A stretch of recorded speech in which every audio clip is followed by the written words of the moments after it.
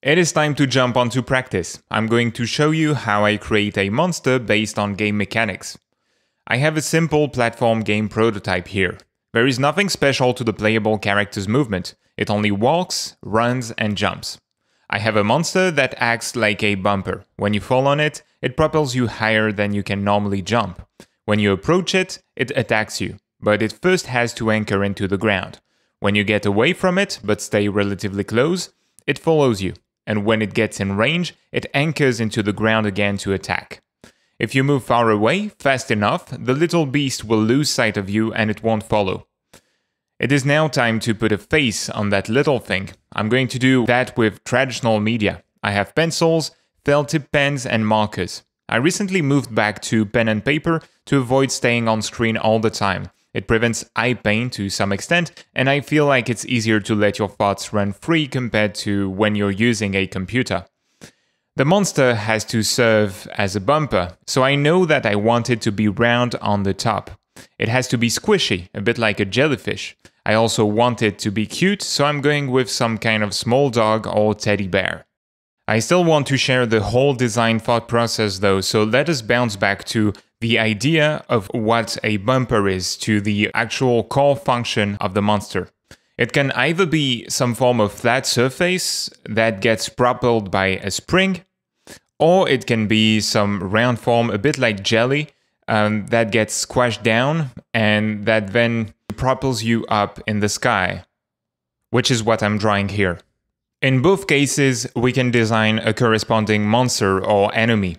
In the first case, I'm making some kind of knight that's holding a shield. Or we can think about the guards in the arena who are holding the platforms in Breath of Fire 3. They could just throw you in the air whenever you fall on the platform. In the second case, I'm drawing some kind of blob that just gets squashed down whenever you fall on it, and that then morphs back into its original shape, propelling you in the air.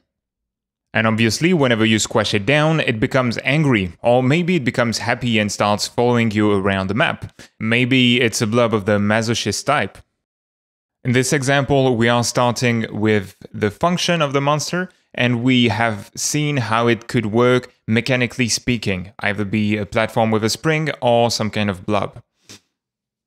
Now we're going to apply two principles of monster design we saw in the previous video. We are going to define our monster like any other character in the game, and we're also going to find real-world animals that could serve as a reference.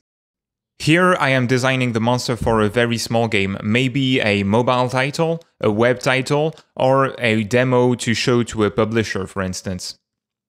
I am working pretty fast, so I'm just putting down a few characteristics. I want the monster to be cute, I want it to have a dangerous form where it can attack the player, and I also want it to be round. I'm also thinking about another technical constraint, which is that I want it to be easy to animate, so it shouldn't have too many limbs.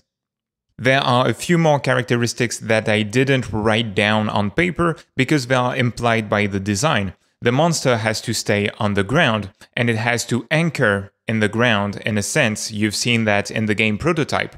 So this is something I have to keep in mind when I'm designing it. I've had three ideas for real-world animals that share those characteristics. A bear or a teddy bear, a wolf or a dog, and a hedgehog. We can think of a lazy bear a bit like Winnie Pooh that anchors in the ground and waits for the player to come around him, we can also think about a wolf or a dog that would just sit and slip or guard a certain area of the level. And the hedgehog can just anchor and raise its spikes to hurt the player.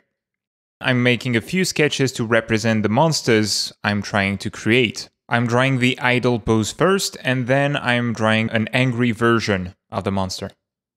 All three beasts have a slightly different body type. The bear is a biped. The dog has no arms and kind of no legs. It's going to slide along the floor. And the hedgehog is a quadruped.